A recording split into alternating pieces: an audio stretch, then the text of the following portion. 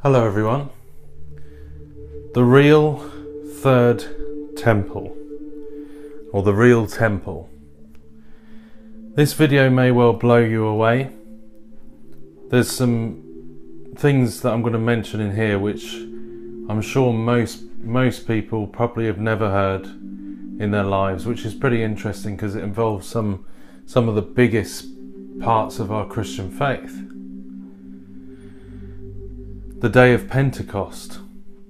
Where did that happen? I just want to show you this very quickly. There's some deep information in this video. So let's uh, get on with it. So this originally I learned some of this information here from a Bible study I did in Jerusalem. It was an excellent Bible study. So I've left the link in the description of this Bible study if you want to get the deeper information of where I'm getting this, some some of what I'm showing you here from. Uh, go go and look at the Bible study in Jerusalem in the link, and you can get the ins and outs of the information. But I'm going to quickly skim through some of this and show you my conclusion. Shavuot, Pentecost, same thing. So Shavuot and Pentecost are the same thing. Shavuot is the giving of the Torah. So we had Mount Sinai in the book of Exodus with Moses who went up the mountain, got the Torah, the giving of the Torah, Mount Sinai. Then, of course, what happened there was the golden calf and you had the people who all came together and worshipped the golden calf. So 3,000 people died. We saw fire at this event. There was a false unity of the golden calf, and the law was written on stone. So this was this is what the festival of Shavuot uh, represents. Mount Sinai, the giving of the Torah. Now, Pentecost, Mount Zion. I'm not going to go too much into this, but there is good evidence to say that Mount Zion is also the name for the Temple Mount, the holy mountain of God. Now, there's many reasons for that, which I'm not going to go into here, but we're going to go on that presupposition here that um, Mount Zion is the Temple Mount, is the holy mountain of God.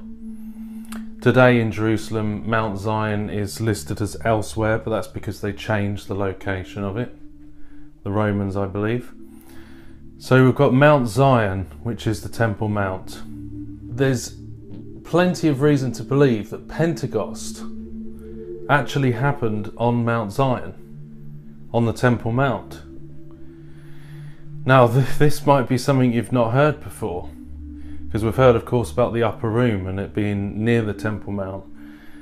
But there's good reason to believe that Pentecost actually happened on the Temple Mount itself. Now, again, if you want to hear more about the reasons for that, go and listen to the Bible study in full, and you will hear. But Pentecost happening on the on the Temple Mount. Now, what happened in comparison? We can compare these two, um, Mount Zion and Mount Sinai, the giving of the Torah, the giving of the law, and Pentecost. 3,000 died here, the golden calf. 3,000 were baptized at Pentecost. We saw fire in Mount Sinai in Exodus. We saw fire, Mount Zion, in Pentecost. There was a false unity, the golden calf. There was a true unity at Pentecost, one accord in the Spirit. The law on stone, the law on hearts. But actually, there's a lot of correcting the mistakes here. 3,000 died because of the golden calf here, 3,000 were baptized at Pentecost. The numbers exactly um, correcting the mistakes, false unity of the golden calf, true unity of the church, one accord in the spirit. So there's a lot of comparisons, and that's not all of them. There's more than there's more than even that. A lot of comparisons between Mount Sinai experience and the Mount Zion experience with Pentecost. Let's move on to the next page. The Feast of Pentecost on Mount Zion was a one day feast It's the 50th day, seven weeks after Sheaf offering of Passover, and the Feast of Pentecost. So, everyone from all over the world, different parts of the world, came to this feast. So, they were coming from all over the world on pilgrimages. So, you can start to see how you would have had all the different languages of the 70 nations represented there, which in Jewish terms represents the whole world. Now remember, I'm not a pastor, I'm just repeating some of the information that I, I gained from a Bible study here. So, Mount Zion, the Temple Mount, in Hebrew, it means the hill of the house. Now that's key to remember for a bit later on. The hill of the house. The house on the hill, the hill of the house. The house, what is the house? The house of God, the temple. So this would have been the second temple. And uh, so we had all of the, these people uh, who had come on pilgrimages to Jerusalem for this feast, and they were coming to the Temple Mount, including the disciples and the others but also other people from all over the world. To the hill of the house, Mount Zion. Okay, so what happened on Pentecost? I'm sure I don't need to tell you, but there was a mighty wind, there was a fire from heaven. And of course, the tongues of fire which rested on the people. We had the 120 people, uh, including Jesus' followers and others. But you had so you had these thousands of people that had come to Jerusalem. I'm going to read this quick passage in Acts. This is what we're talking about this event of this day of Pentecost, chapter 2. And when the day of Pentecost was fully come, they were all with one accord in one place. And suddenly there came a sound from heaven as of a rushing mighty wind, and it filled all the house, the house where they were sitting. Hmm. The house, the hill of the house, the house of God. And there appeared unto them cloven tongues like as of fire, and it sat upon each of them. And they were all filled with the Holy Ghost, and began to speak with other tongues as the Spirit gave them utterance. And there were dwelling at Jerusalem Jews, devout men of every nation under heaven. Remember, that's the 70 nations represented. Now, when this was noised abroad, the multitude came together and confounded, because that every man heard them speak in his own language. And they were all amazed and marvelled, saying one to another, Behold, are not all those which speak Galileans? And how we hear every man in our own tongue wherein we were born. And then it goes on to list some of the places. And they were all amazed and were in doubt, saying one to another, What meaneth this? Others mocking said, These men are full of new wine. But Peter, standing up with the eleven, lifted up his voice and said unto them, Ye men of Judea, and all ye that dwell at Jerusalem, be this known to you, and hearken to my words. For these are not drunken, as you suppose, seeing as it's but the third hour of the day. But this is that which was spoken by the prophet Joel, and it shall come to pass. In the last days, saith God, I will pour out my spirit upon all flesh, and your sons and your daughters shall prophesy, and your young men shall see visions, and your old men shall dream dreams. Uh, so, this is the event that's happening here and it's on the Temple Mount. So, with this in mind, we've got all these people who travelled as a pilgrimage to Jerusalem. 70 nations represented, the languages that they're speaking, literal languages that they're speaking, that other people can hear, who are there. They're filled with the Holy Spirit God is doing something here with them that, he, that hasn't happened before. This is a miraculous, amazing incident that's happening. It's, the, it's part of the birth of the church. So fire falls from heaven. Well, some of the items were missing from the second temple. So this is quite symbolic that the fire never fell on the altar of sacrifice in the second temple because the items were missing. But on this day, the fire fell on the people. So you see that almost this is like a transition in a sense. Because the body of Christ is a new temple. So, in a sense, it, seems to be like this is a transition from the old, of course, and then the, the old temple fell at 70 AD after this. But the body of Christ is a new temple. These people, the church is the temple. These people were being filled by the Holy Spirit, the church, the, the disciples, the Christians. I believe it was 120 of them. On the Temple Mount, on Mount Zion. Let's look at these. We've got three verses here which, which explain this a little bit more. The first one is in Matthew 5 14 to 15. It opens up some of these verses. You'll see what I mean. Jesus said, Ye are the light of the world.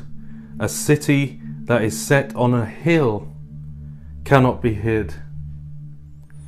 Neither do men light a candle and put it under a bushel, but on a candlestick, and it giveth light unto all that are in the house. Listen to that. You are the light of the world. A city that is set on a hill cannot be hid. But it giveth light unto all that are in the house some of these verses really begin to open up. 1 Corinthians chapter 6 verse 19. What know ye not that your body is the temple of the Holy Ghost which is in you, which you have of God, and ye are not your own? Know ye not that your body is the temple of the Holy Ghost? and the last one, 1 Peter chapter 2 verse 5. Ye also, as lively stones, are built up a spiritual house and holy priesthood to offer up spiritual sacrifices acceptable to God by Jesus Christ. Wherefore also is it contained in the Scripture Behold, I lay in Zion a chief cornerstone, elect, precious, and he that believeth on him shall not be confounded.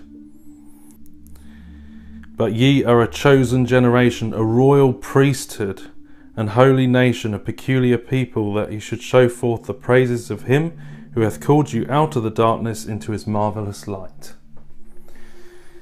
So there you go, body of Christ, a new temple, right before our eyes, on the Temple Mount there, uh, on this day of Pentecost. How amazing is that? and the Bible verses corroborate so much. But this is where it gets really interesting in terms of the day and age we're living in. Because it doesn't just stop here. When something is the truth, it doesn't just stop there, it opens up more. And what I began to realize is that there's propaganda in the mainstream media, in movies and television, which has been going on for a while. Now, remember what we said was the name of that place. The house of the hill. The hill of the house.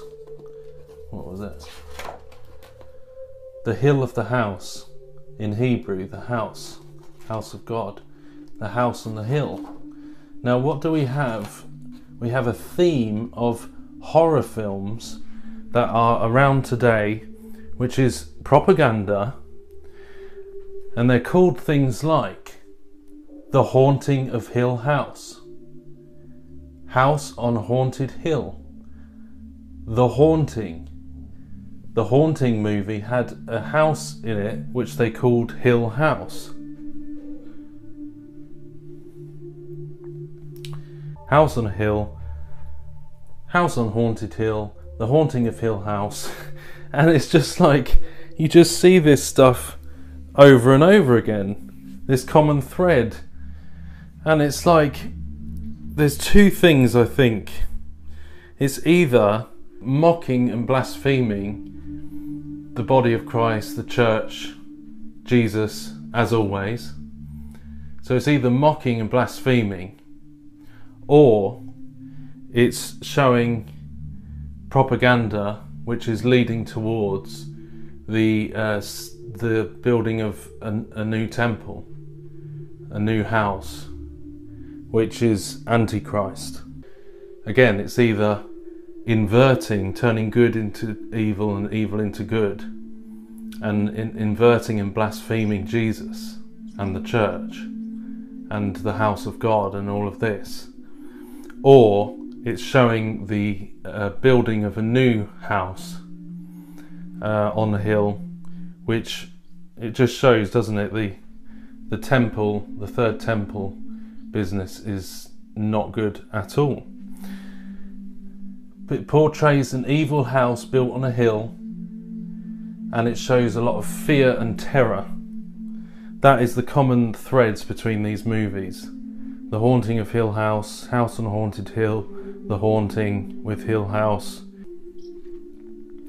So, I mean, it's just it's just very clear. It's just over and over again. We're just seeing this propaganda. So, Third Temple an antichrist agenda. That's what we're seeing. Third temple, an antichrist agenda. The destruction or the, the mocking, the blasphemy of the old, and eradicating the Christ- Christianity and the building of the new one world temple whether or not that will be a literal thing, I don't know. Could be, yeah. I, I believe so. I believe there will be a temple, but that's just my personal belief. But um, what do you think? I don't know. There could be a third temple, or there may not be. It may all be symbolic and figurative. But I believe there will be a third temple. So, this is what we're seeing this propaganda. And do you see how it all relates to like a, a, inversion of Pentecost of the Antichrist spirit, the man of lawlessness, the abomination of desolation? How it all ties into this, and how it all comes from the fact, well, from this idea, which seems very, very plausible when you put it all together, that Pentecost happened on the Temple Mount, on Mount Zion, and that this kind of inverted Pentecost of the Antichrist spirit is being shown, and the building of a counterfeit temple when we know that the true temple is the body of Christ. The real temple is Jesus' body, the body of Christ. So that concludes this little talk. The real temple is the body of Christ. Thank you for listening. I hope it was interesting and God bless you.